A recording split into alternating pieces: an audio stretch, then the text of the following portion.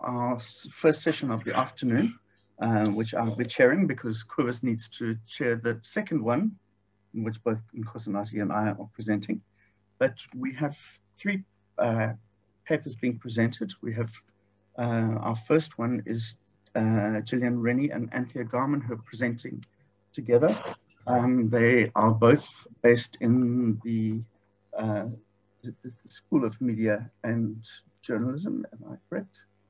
Uh, at, at Rhodes. Yes, it is the, yeah, the School of Journalism and Media Studies at Rhodes, and both particularly interested in um, various modes of writing, other modes of writing. Um, and they are presenting a piece, a collaborative piece called Cancer Came on a Monday. So I'll pass over to the two of you.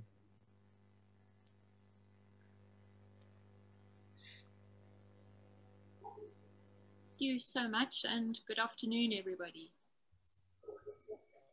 10 years ago, I had a mastectomy. At the same time, my sister was dying of lymphoma. So my opting for a radical surgery seemed like the most decisive response for a family already reeling in cancer's brutal wake. Coping emotionally on behalf of us all also seemed like a helpful response. Publicly, I made light of my breast removal.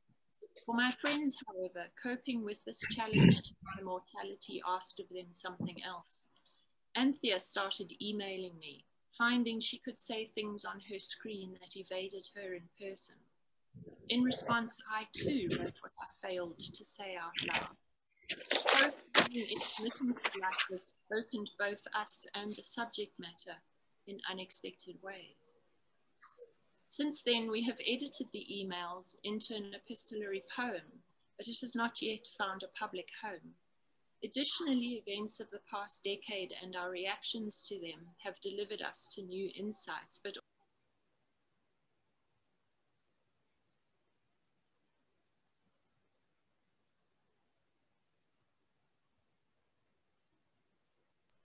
So did, did you hear that? Was any of that audible? We lost you for about uh, a minute or so, I think. Okay. Okay, I'll go I'll go back to the paragraph starting for my friends. Sure. Uh, for my friends, however, coping with this challenge to my mortality asked of them something else. Anthea started emailing me, finding she could say things on her screen that evaded her in person. In response, I too wrote what I failed to say out loud. Corresponding intermittently like this opened both us and the subject matter in unexpected ways. Since then, we have edited the emails into an epistolary poem, but it has not yet found a public home. Additionally, events of the past decade and our reactions to them have delivered to us new insights, but also more complex ones, which Anthea and I have begun to embody. And we do this separately and together. So for this project, two friends pick up their epistolary lifeline 10 years later to explore the weight of these insights. Our corporeal bodies, yes, but also our body of friendship and the body of work that we call writing. We intend to conclude this chapter with a reflection that troubles the vocabulary of mortality. So we'll read the 2011 piece we wrote. I have cancer, she said clearly, strongly, after a series of Mondays in which she went from a mammogram to a lumpectomy to a mastectomy and then was pronounced clean. I didn't want to disagree, knowing it was part of the therapy, but I wanted to argue how can you have cancer for three or four weeks? You don't know, you know. What do you know? They act like the US laying into Iraq and blasting every sandhill just in case your words. It's done, it's gone. The surgeon wipes his hands of the in situ cells. Is this cancer in 2011 or just the cleanest, kindest sort? How are you, they ask, not knowing, or quite possibly knowing very well. Fine, I reply, not knowing either, or very possibly knowing all too well. For I knew all along in that place one knows without knowing that I knew And then I add for clarity, fine, except for the cancer, which allows us both to laugh, which allows us both to feel better. There is at least one more chapter of Monday before my story, the public edition of my story, can end. The next chapter of Monday is this Monday. This Monday, this mobile site of violence enlists with a new commander. This time, this one deploys chemical weapons where he, whether he does or whether he doesn't finger the button, cancer in 2011 amounts to warfare. The sand dune has been flattened and for now has lost all feeling. So it's impossible to say how clean the fight has been. I usually carry around my own two breasts unconsciously. I wash around and under them, I dry around and under them, I put on bras, take off bras, sometimes, oftentimes, readjust bras, often go without bras. Mostly I forget them. They've ceased to interest me at all. It's only when other perkier breasts are around me, as they sometimes often are, I remember that they peaked a long time ago. I haven't done mammograms. I used to do pap smears. I don't know how I got so willful about denying medical science the right to tell me what to do. And even now, when my friend has discovered there's a terrorist in her tit, I'm hopelessly ambivalent. Passing through all flat now where once often wonder rose, so flat that out of the slaughter not even a dim outline survives in eye of mind, memory's home. Now, across the flatland, hands untrained in looking fail to see new beauty, and unheeding and unfeeling pass through shadows. Over. Over the bump in life, over the lump of death. Death came close and receded, leered and breathed and threatened, altered perspective. On that day, we gathered in the windy garden, not quite summer and stormy, huddled against an old stone wall in the gap before, eating cakes with memory names, jokingly, provokingly. I looked across at you, being casual, being light, being with us, and I saw your death, or rather your death to us, the space between the Jill I had had, the Jill I now had, the person walking away from us, the person I couldn't weigh down with my shock and questions, the person walking into the blinding light, the trust of unconsciousness, the cut, and the scarred resurrection. The drought ends in a squall, lines land on me, rain on blind ground. How could I not have seen? I live in your lines and out. I outlive your lines, and so I color inside the lines and out. The resurrection is complete, for now I live on. I live between the lines and through them. Turns out living's what I like. Resurrection following insurrection. In the shade cast by silence, resurrection felt its way reached through my skin, drummed down my blood, and skittled my bones. Then, like a cowboy, it burst out laughing and spread daisies in my brain.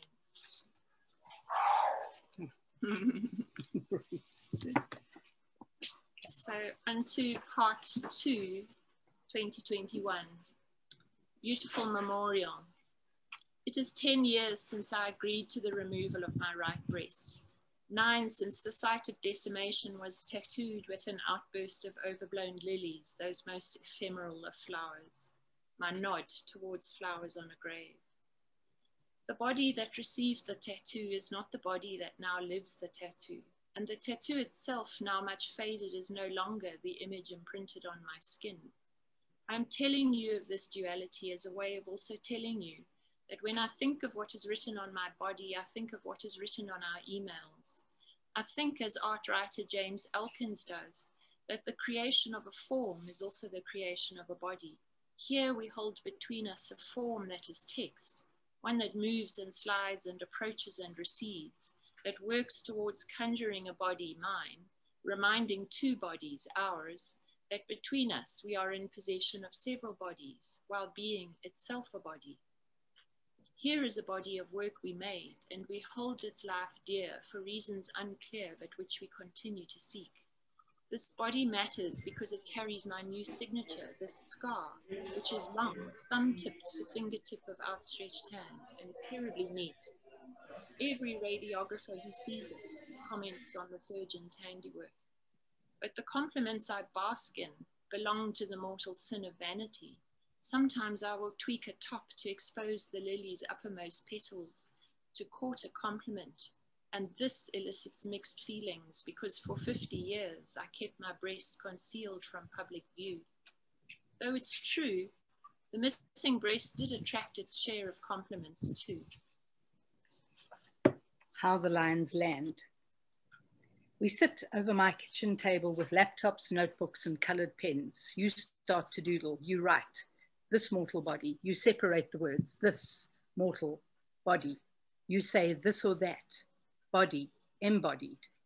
I draw circles, I connect pieces of ideas, I color them. You photograph the page. As we think and work, I look for the original piece. It's called I Have Cancer, you say, so that I can search for it. I find it and I start to read it again. It strikes me how the responses to me land at a slant. They don't talk back directly. They acknowledge me, but they tell me different things from what I asked for. I remember the slight shock of reading these lines. Lines land on me, rain on blind ground. How could I not have seen? I live in your lines and out. I outlive your lines, and so I color inside the lines and out. I felt the small rebuke at the time. You are trying, trying to lay your lines on me. You are trying to use your words to make me make it clear for you. Above all, you are trying to know me. I've spent a long time reading Jonny Steinberg's books and puzzling out his choice of protagonist, his choice of the man, always a man, other to him in every way. I work through his intensity of methods, his uncomfortable immersion in the other man's life, and I conclude that he wants to occupy the other person's interiority. It's true. I didn't like the cleanness of the cancer, and I didn't like the messiness of the cancer. I did want to know. Above all, I really wanted to know what was going on inside your head, the decisions you were making, where did they come from? Now that I read the abstract, written one night when a thought struck you, I understand for the first time your family situation. It wasn't that you were terrified for your own life, as I rationalized then. It was that you considered your mother, who had faced so many losses and made a decision to save her further grief. You had to live. The Excision. We offered the poem, the whole poem in two voices, to an editor putting together a volume of pieces that described feminist lives. We waited she came back a while later to say she wanted precisely 11 lines. Excised from the whole, they were all my words. It would have been nice to have been in the anthology. The company was good. To help me make the decision, I read the entire piece to two writer companions to seek their guidance. I knew the original interchange was raw, that it lacked editing or finessing. But as I read, I watched their faces. When I finished, they were silent it is raw, they said, and it should not be edited. I told the editor no, and you hugged me when you heard. You're not a hugger, but it was the first time that I felt that I truly knew that this piece really mattered to both of us. Elkins again, and how I love him for this permission. The body is unencompassably strange and irretrievably unruly. I love it so much. I'm going to read it again. And also because Bronwyn used the word unruly and I heard the chime. The body is unencompassably strange and irretrievably unruly. This is why feminist editors aren't allowed to slash their way through it and take only the chunk that serves their literary purpose. There's only so much you can remove from a body with permission. If we were natals, we have been reading Grace Jantzen, who picks apart the necrophilia of the Western moral imaginary. She finds that a preoccupation with death sits at the heart of the habitus we live in as white people with our roots in the Western way of thinking, doing, and being. Why else are we called mortals, the beings who are destined to die? Why else do we talk of mastery and overcoming? Why is our language so violent, our cultures so full of death dealing? Jantzen uses a psychoanalytic process to find out what is being repressed, what is being feared and what is being desired in this moral imaginary with death at, at its center.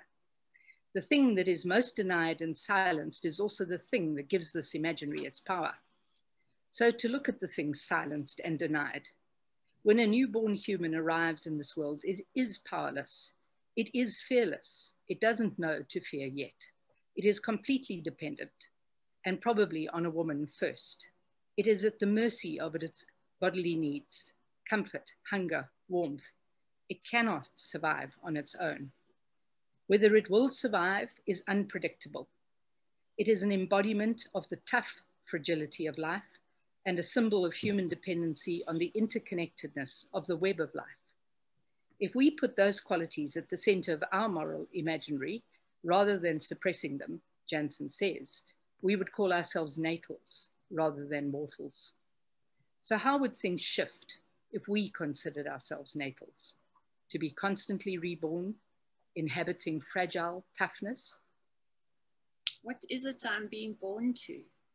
I reference Elkins again because he alerts me to the fundamental position of the human body in all we see. He states, the final source of visual meaning is the body. And I at once feel at home with visual artists as I reach towards representing my own body through these words, so that you, reader, might glimpse or even see this body alive to your eyes as you scan these lines. This mortal body is tautologous. If we are in possession of a body, we and it are mortal, and that's all there is to say about that.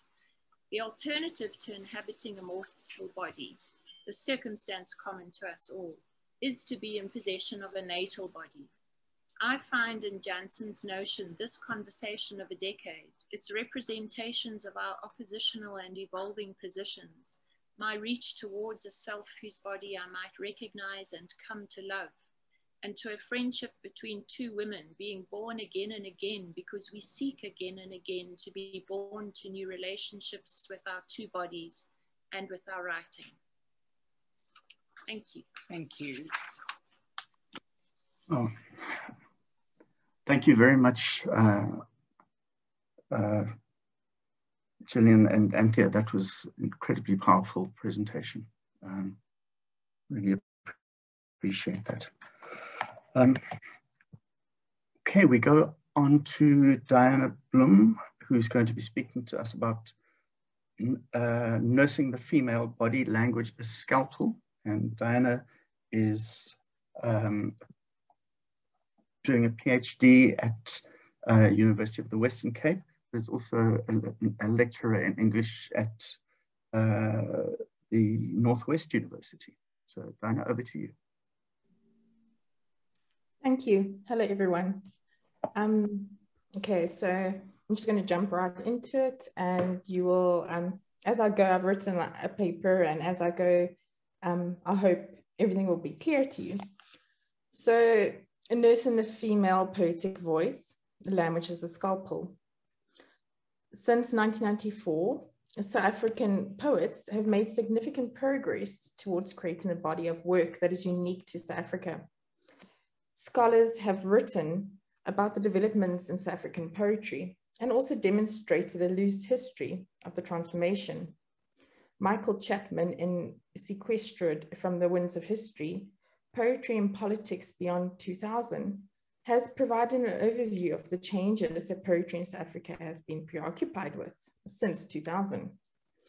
These changes are influenced by the political environment in the country, poetry and politics, according to Chapman, gives rise to challenges, challenging questions that have no easy answers. More uneasiness within the art of writing has been highlighted by Sally Ann Murray. In her article, Lyric Language, essaying the poetics of contemporary women's poetry. In her article, Murray discusses the disorientation that many contemporary writers feel during the process of writing experimental poetry. She discusses how women writers defend their practice by using several non-normative genres. This practice of defending one's work signposts an uneasiness with the reception of women's poetry. Murray uses error of the writer for the uneasiness felt by the audience. She also highlights that women's poetry has got minimal attention because the topic is contentious. As a woman engaging with writing experimental poetry, I found myself constrained by the lyric poetic norms. The norms that have originated from a patriarchal literary tradition, a tradition which can be dated back to ancient Rome, the Middle Ages, and the Renaissance. And that, that I'm quoting Culler, Jonathan Culler. This constraint, I feel, does cause an urine, a doubtfulness, and an easiness. Male voices have been at the forefront of the lyric, considering the long history of the genre, which may, and I say this with some urine, leave the female poet in a position of uncertainty about what part of femaleness to write about. Deirdre Byrne, in her article Still in the Fire, Language as Theme and Strategy in South African Women's Poetry, has paid attention to South African women's poetry. She examines how South African women's, women poets use language to speak against colonial and patriarchal rule.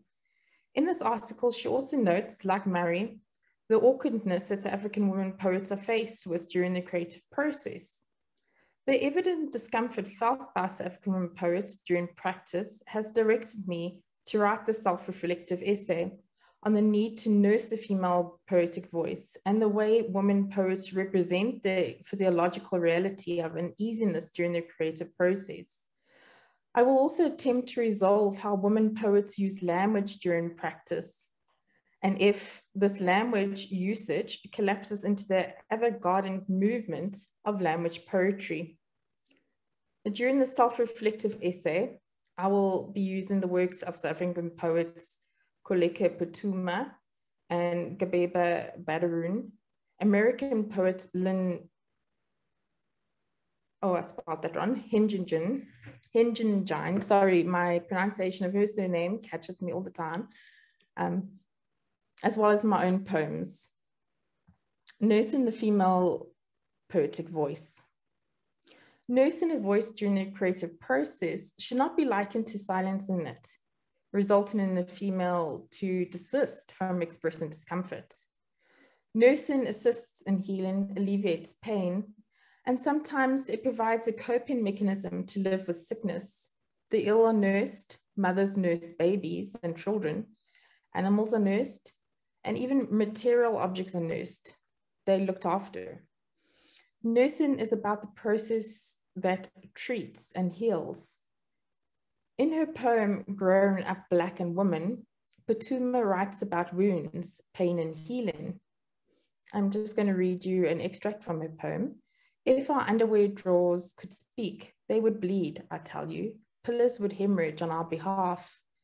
The unfortunate thing about healing is this it convinces you that the pain is better than, than a scab. Scabs make people ask question, questions. X chromosomes make women, not men. The title of Kholeka's poem reflects the differences between men and women and she uses woman with an X, not an E. Putuma associates um, speaking with bleeding. These underwear drawers are the speaking that are speaking, contain intimate knowledge of women. This unseen knowledge packed away in drawers tells us of, a, of the silence of women. The pillars that women cry into are injured from holding the tears. Women do not want to be questioned when they have been nursed back to health because closed wounds will, re- will be reopened. The female experience of hiding and keeping quiet are, as Rachel Blau DuPlessis says, not separable, contingent, or derisory, but they have been vital to the historic practice of poetry. In my own writing, like Kholeka, I speak of women uh, of wounds the poem I Stain attempts to voice a woman's plight. She's outdoors, yet hardly able to steady herself. I'm going to read an extract from the poem. Apples locked into the corner of her eyes, her left cheek slashed, red ribbons streamed her face as her left arm inflated, a form of a balloon. Blood stained the champagne pavers, the paper sandwich bag scattered, shift in her weight across to her right arm. Unsteady like a newborn calf, she searched for his eyes. Gathering the empty sandwich bag, she found the dusk that had also fallen against the driveway instead of his eyes. This lack of balance creates a sense of uneasiness. A sandwich bag that is scattered is not intact and unable to provide nourishment and nursing the body. This scene is evocative of the poetic female voice, which is scattered between the public, which is writing, and the private, consigned to pack in underwear drawers. As Blau DuPlessis says, culturally and socially, we are still knotted loosely or tightly into the patriarchal. Women poets are still affected by the patriarchal physiological reality Writing about a physical reality allows the female poet to move beyond patriarchal lyric discourse. Women poets are able to share a physiological place and move into their own space, departing from the uneasiness.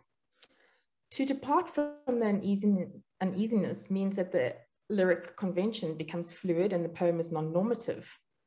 Murray writes, awkward, awkward silence, perhaps since the African acad Demi is unused to quirky, non-normative genres. Hejinian is well known for writing non-normative experimental poetry. Her poem, titled She Showed the Left Profile the Good One, in My Life and My Life in the 90s, is duplicative of the experimental, and it also highlights Hejinian's physiological reality of writing as a female. And I'm going to read you extracts from this. At the time, I saw my life as a struggle against my fate, that is, my personality. She was trapped in the elevator, elevator panting in plenty of air. Wounds by gossip's rat-a-tattle, more than horsework on war's hills. On a scroll in the case, the sequence of the sequence of plum restless resembled stages in the development of the blooms on the snapdragons.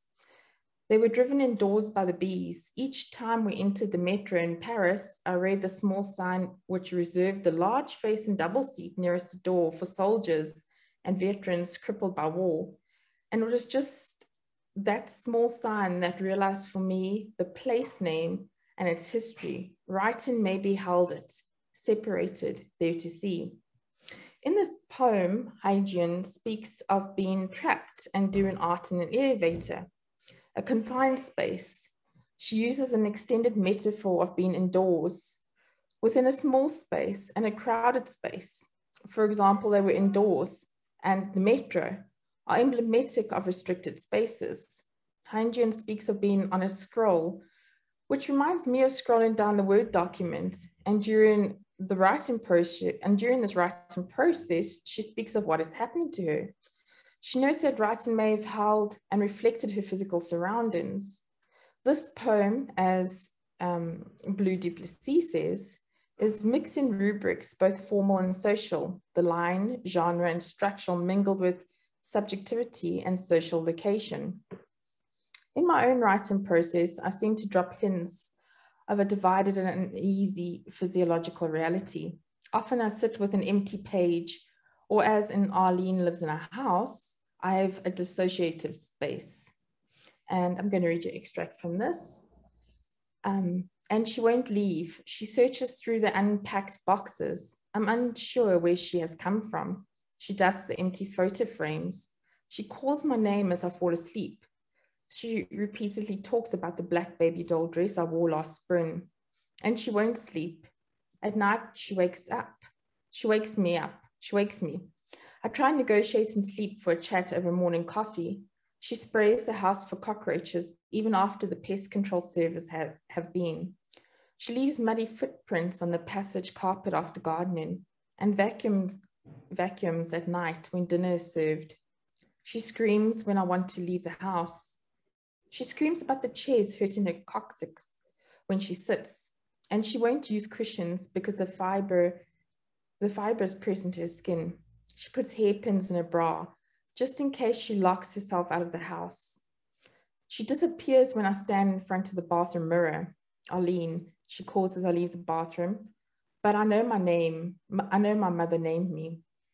As I reflect on this piece of writing, I'm aware of a physiological reality that is bare, without, empty photo frames, yet the space draws attention to itself, having fibers press on my female body. My own practice presses me to explore experimental writing and to jostle with what I can do, write, and what I'm unable to do. Language or language poetry at this point, the experimental practice and non-normative poems are evident of the divisions that are experienced by female poets. Lisa Sewell, in the introduction of 11 more American women poets in the 21st century, Poetics Across North America, notes that the range of poems written by female poets takes various forms and moves in numerous directions between genres, between genders, between bodies.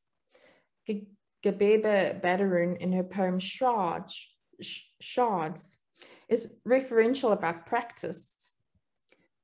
When you write poems, do you, and this is an extract from her poem, when you write poems, do you your word do you words scroll precisely down a pristine screen, or do you clear away strands of sounds like hair blown in your eyes?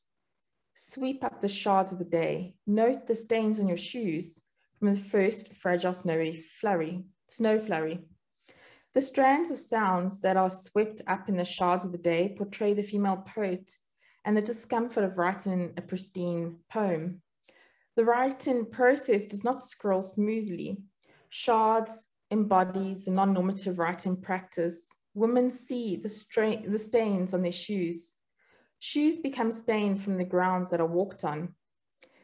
Elizabeth Norkier and Etienne Terblanche discuss a way Baderoon depicts seemingly trivial and everyday events or experiences with acute attention to detail, all of which are connected by her unique portrayal of their embodied nature. Hejinian, in her poem, I've Never Seen Much That Was Typical, also portrays an embodied experience of the female poet. And I'm going to read you an extract from her poem. What is a is the 50th year of my life now complete? Such a living life, such an inconstant one. Imagine the film equivalent of this, one shot per sentence. The shot of this one of, then suddenly war broke through as I was typing something melodramatic involving an articulate. Cogs and rose for money from the radio of the floor behind me, and my conscience departed from its place between my eyes and hands. My head is against the scalding yellow wall. My toes have torn my socks. I eat something that's coming apart. I keep a light in case of tremor. I use a boarding pass to mark my place. As for we who love to be astonished, we close our eyes so as to remain for a little while longer within the realm of the imaginary, the mind, so as to avoid having to recognize our utter separateness from each other, a separatedness that is instantly recognizable in your familiar face. And in constant tells of the life that is filled with flux. The flux felt means I use a boarding pass to mark my place while creating. As a female poet, I recognize this flux, the private female roles, and time constraints during the writing process means I have one shot per sentence my consciousness departing is leaving the I of the lyric and crossing over to non-normative poetics. Being experimental means that female poets can come closer to reaching the realm that does highlight separateness.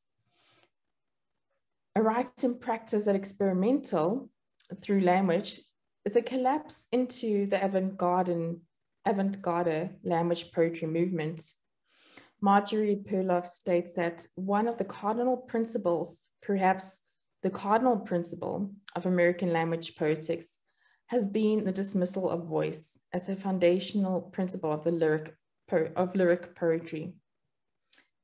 And uh, towards the end, I just have a, a section called drafts on reflection. Is my practice reflecting uneasiness and a need for nursing to find a realm of some collective voice that is moving away from the I. The One Eye. Women poets using experimental and non-normative poetics examine gender and the experience of being a female poet. As I write, I observe that gender, politics, and poetry merge during the process. Gender and the public-private divide and uneasiness is nursed when the physiological reality of the female poet is written into poems. Thank you.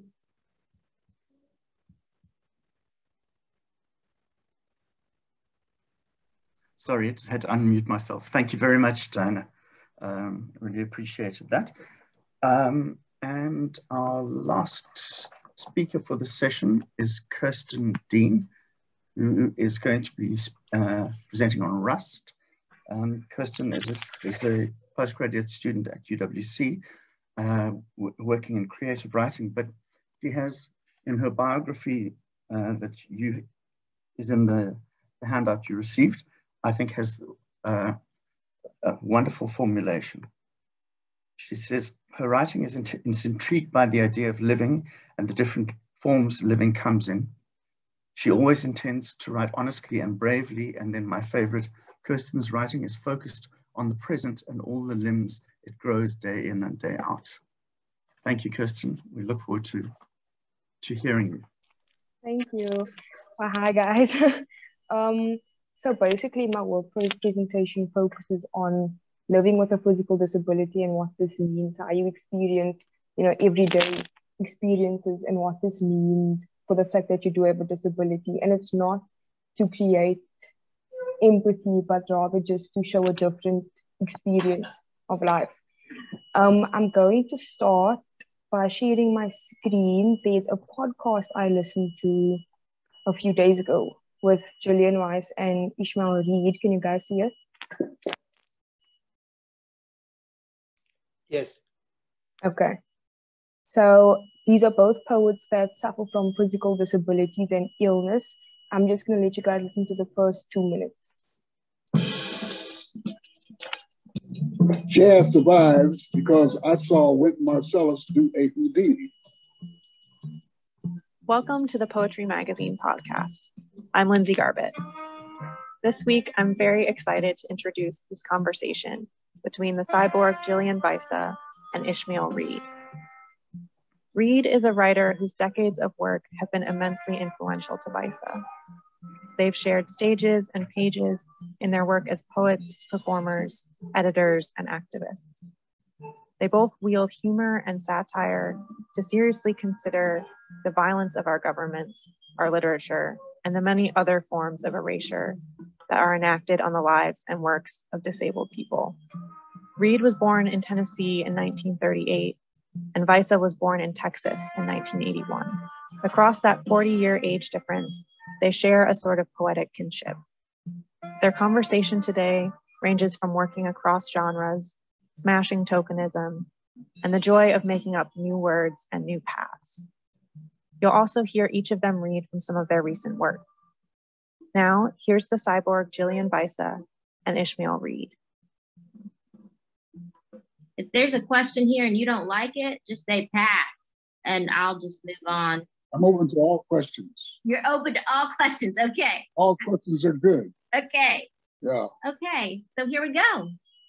Ishmael and I read together at the All Access Cafe with Tennessee Reed in Detroit. The All Access Cafe, for people who do not know, is a reading series for disabled writers and musicians founded by M.L. Liebler and supported by Marshall Mathers and Jack White. And Ishmael, you got on stage and you talked about how Egyptians revered disabled people mm-hmm. and certain tribes in Africa honored people with psychiatric disabilities. Mm-hmm. And then you mm-hmm. said to me and two disabled writers, and I'm quoting, you belong to a great tradition. And that was so huge, such a powerful thing to hear you say. Probably because I don't always feel like I, as an openly, proudly disabled poet, belong in the poetry scene. Okay, so starting off there, what caught my attention was his statement at the end, you know, saying as a poet and a writer who lives with a disability, she never felt as if she belonged. And for me, this raised the question of as individuals that have disabilities, how do we go about writing and how do we use language to incorporate our experiences of everyday life and how our physical bodies impact us? So yeah, so the title is Rust. I've included the simple definition of rust and I will explain why. So understanding the definition of rust, I asked myself, what happens to the insides of oneself when the outside is changing? From my experience of living with a disability, I understand that illness grows from the outside in. And by this, I mean in this generation and in this world, we are forced to look at our physical bodies and to think of ourselves of just having this physical body. But once you look through it, you realize what I'm struggling with and my disability is rooted on the inside and it all comes from inside our physical forms. And then when I arrive here, I ask myself, what happens to you when the inside of your body is aging faster than you are? How do you communicate with yourself, a self that has been dying? And what stories do you tell now? I'm interested in writing that does not necessarily answer these questions, but rather to explore the repercussions that a sick body has on the presence of life and how the individual experiences the medically aging body and what illness does to our everyday experiences and how this can be shown through language. The questions around the subject keep growing and so will the ways of writing about our insides. So what does it mean to have a sick or ill body? Let me just move this. Do you love it the same if at all? And how does life look through the steel lens? Why are these questions important? What is often overlooked is the importance of the voice of our insides, particularly the insides we have that are sick in a way that cannot be seen. Physical disabilities on the outside are often taken into consideration more often than internal disabilities.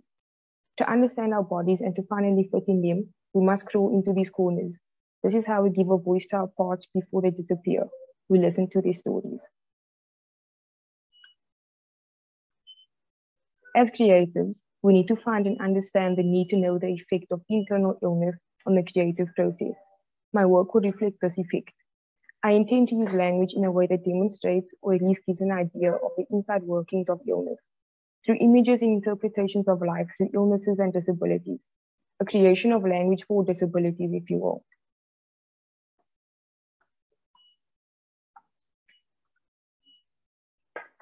Just give me a second.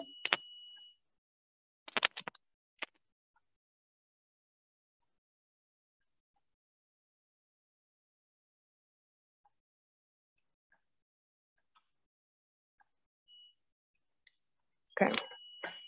Rust leaves us with a new layer. Something on top of the surface of the insides that reshapes what was there before. It is the illness that keeps us from understanding our insides. We need to communicate with and through the illness to create a sense of understanding of illness through literature.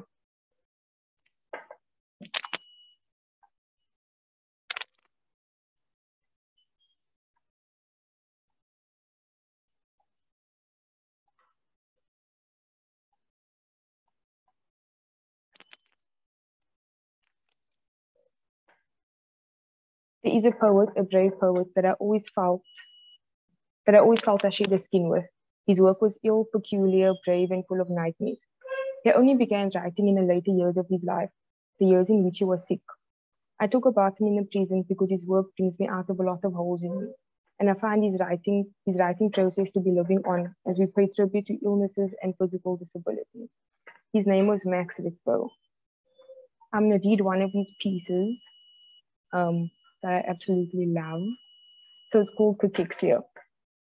Today I woke up in my body and wasn't that body anymore. It's more like my dog, for the most part, obedient, warming to me. When I slip at goldfish or toast, but it sheds, can't get past the simple sit, stay, turn over, house trained, but not entirely. This doesn't mean it's time to say goodbye. I've realized the estrangement it's temporary and for my own good. My body's work is to break the world into bricks and sticks has turned inward. As all the doors in the world grow heavy, A big white bed is being put in my heart.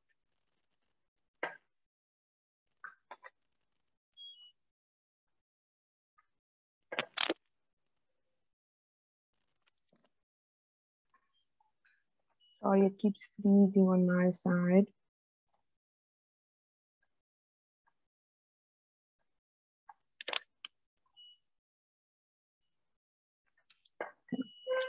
Ritvo's work goes inside his body, a body that at the time was living with cancer. And I say living because he began to breathe in a different way. We can see this in his writing through a peculiar way, yet straightforward images that he creates through language. Ritvo's work explores how the sick inside body experiences the external world. And we can see this through the metaphors he has used. Like Ritvo, I'm inspired to give the sick body, the sick inside of the sick inside the voice. It is important to understand the language of illness so we may hear where our Ill, Ill bodies want to be in this life and what they want to say. The voice of something sick or even dying shows us a different way of living. And is that not one of the big points of poetry? So I'm going to read two of my pieces for you guys. Um, this one is called Rooms. My door to leave to go outside was left open for too long. The locks have started to age, but let's call it resting. I'll only be 23 this year, and my life looks like this. I can give you an estimation of how many towels have been in my hotel rooms. The sad number is somewhere in my head. It must be there. At night, I feel an old man reaching down from the ceiling and sticking something in my arm. He smells like my medication. The towels are cracking in my bedrooms, red and yellow and brown. I'm sleeping in a scab. A scab is healing. My mother thinks the medication is working. I still feel the cold in, in too many corners. Rest will be left behind. I'll move on to the last one.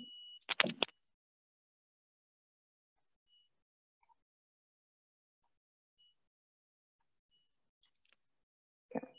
This one's called This Year. This time, I must say I'm sorry. I've been quite a bitch lately. Mood swings or stress, or maybe I'm just hungry. We never consider the nauseating taste, the insides of my mouth. You know them too. It's something like old blood. There must be a crushed cockroach in me. I smile too hard. In the Christmas picture this year, I could feel my skin thinning. I'm in the process of convincing myself I've only started aging now. My head is always ringing. I can't tell time anymore.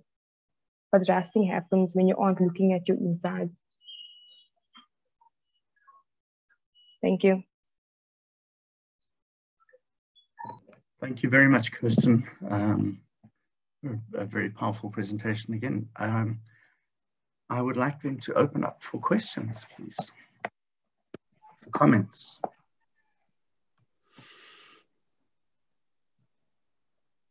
Just need to switch to gallery view so I can see people. Can I please say something? yes. Okay, Ilana. Kirsten, that was so utterly beautiful and powerful. And I hope I get the chance to read it on paper because, wow, that, that's all I could feel. And you have that beautiful billowing curtain behind you that reminds me of that not not crouching tiger but i think it's the follow-up. I don't know if you ever saw those crouching tiger hidden dragon. Does anyone remember what the second one was called? And it focused so much on the life in the curtain and how that curtain was billowing and took you somewhere where you realized that there was life all around you. So thank you. I, I was very moved by that. And for Gillian and Anthea, I really loved your parallel stories. I loved the two different voices that were really in parallel to each other, and each had their own tone and their own style and their own things to recount. And it just put such a different spin on that experience. So thank you for that as well. And Diana, thank you for your very interesting presentation. Okay. Thanks, Alana. Uh, I see there's a comment from Nondwe in the chat. It says, Gillian and Anthea, your reading reminded me of Anne Schuster's last collection, Even as It Thunders.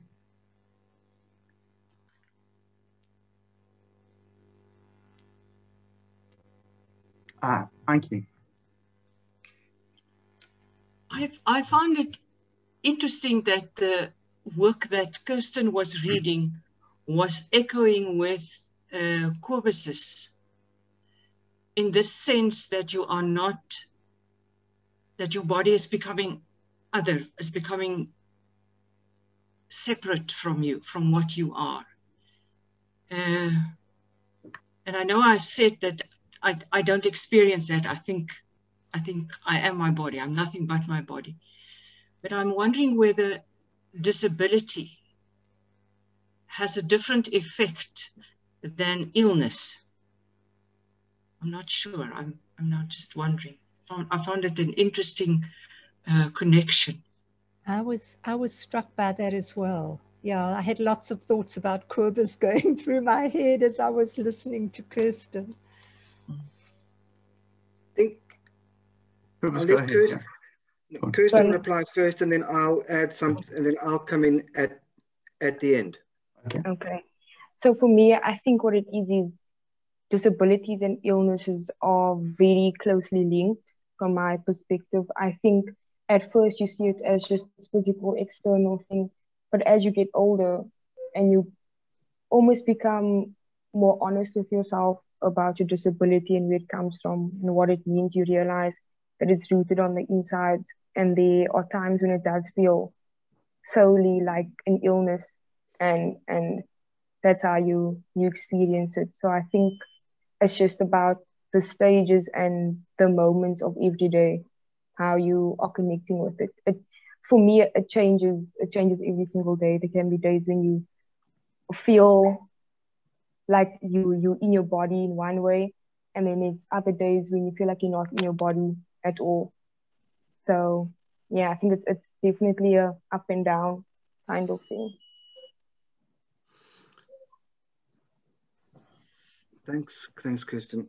Um, I just there's a particular in Kirsten's talk, Kirsten. You there's a phrase you used, which I think kind of sums up what you've just said at the end here. Now, to communicate with and through illness, and that phrase for me encapsulates the both and process of, at least for myself, writing about a body that is disabled from birth. Um, communicate with and through. So to communicate with, it's this communicating with that. So there is the this and the that, which is precisely what you were talking about, Ainke, the, the other, the body othered, this and that. But at the same time, which doesn't negate the this and that, at the same time, there is what, what Kirsten said, through to communicate with and also to communicate through illness. To, to communicate through means to be within, inside, inhabiting, fully inhabiting, and articulating. And that is for me the both and situation of at least my way of understanding my embodiment in a disabled body. That it is to be able to talk about it, I I need to, I personally, speaking for nobody else, talk about it as something other, but to talk about that, I must talk about it through itself. So it, it's it's it's a it's it's a real mind switch that I go through every single time I'm writing because I am neither outside nor in nor I'm neither wholly outside nor wholly inside. I am both. Um, and that's my only way of articulating and attempting to explain the uh, the experience. Uh, Philippa has her hand up, I see. Yeah, for for me, it I get a very strong sort of license from from the way that you give voice to your existence, Cobus, because you are constantly in the on the edge of accepting and just allowing it to be. That you're just in the isness of it and you're not expecting it to do any other work. And i feel like that it does so much work because you're so true to it. Like helene was saying that to just be true to what it is it's sometimes there are fewer words that come but they are the true words you know? Um, and i just i just loved i loved all of the presentations. Um, i also just wanted to say to diana perhaps um, you might also like to just look at our words our worlds writing on black south african women poets where um, to, from 2000 to 2018 where um, there are a lot of sort of compositional this compositional diversity where women are writing their stories. Um, and i just thought perhaps it would be interesting for your for your for your field that you're working in. Thank you.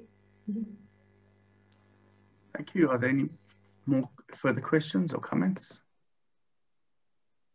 Yes work um, I just have a just a little something that I was thinking of while Julian was talking about um, breast cancer and stuff. I met um, I met a, a, man over the weekend who had had breast cancer, and he said it's it's actually very very rare, but he'd had both removed and showed me scars and everything. I was actually quite quite astonished that that um, yeah, that this this this can occur as well. So it was, it was, it actually spent quite a while chatting with him. He's he's not in that great a shape though, but um, but yeah, just in terms of bodies and things, that's quite interesting. Joanne has her hand raised. Uh, thank you. Thanks, Quentin. Joanne? Sorry, can you hear me? Yes, we can. Um, no, I, I just wanted to weigh in on this issue about disability and, and illness and how one experiences. I can't speak for illness really, although the two do overlap sometimes, but I think um, speaking as a person with a disability, I think there's, there's so many subtleties in this. It, it, it really depends on, on a lot of uh, a, a, lot of different factors, like um, you know, if it's an acquired disability or, or, or how long you've lived with a disability and, and so on, how, how you sort of embody that uh, disability. Um, and speaking for myself, I have never felt separated from it because I think one's sight is so intrinsic to one's being, like one's every second being, that I, I don't separate myself from it. But one way in which I am trying and wanting to write disability is to is to experience it with others. I, I can't say more than that, but uh, some kind of sense of solidarity.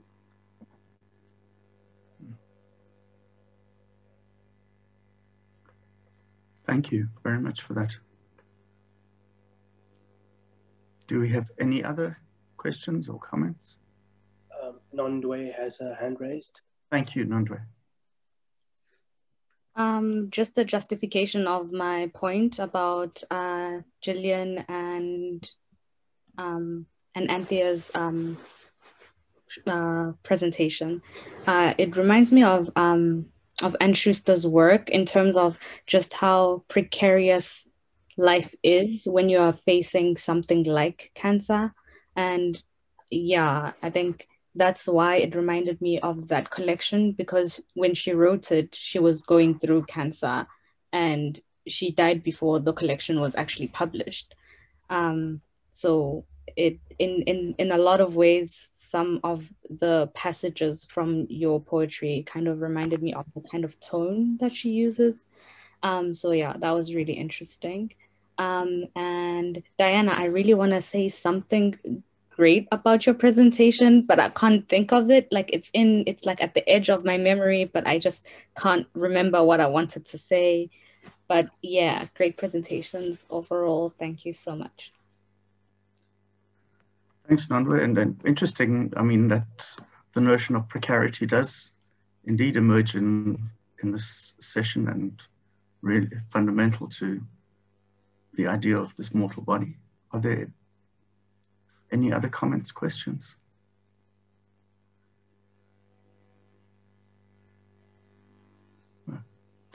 Um, colleagues, then I need to be guided by you because we are actually now ahead of schedule. Um, we, our next session, uh, which Cobus is um, chairing, is due to start at 2.45. So um, would you prefer simply to have a, say, a 20 minute break now and then start again at 20 past two? And so finish a little bit earlier? Mm. Is that a general agreement? Okay. Yes.